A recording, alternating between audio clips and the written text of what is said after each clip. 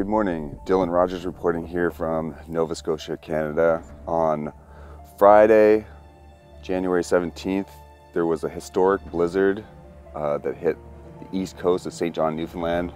It brought about 75 centimeters of snow, shut down all major services, and the military was brought in. About 300 Canadian Armed Forces were brought in as a snow response. All the major services were shut down plows shut down, people were warned, and some areas were evacuated for avalanche warning. In the past few days in Nova Scotia here, I'm about 1,200 kilometers west-southwest of Newfoundland.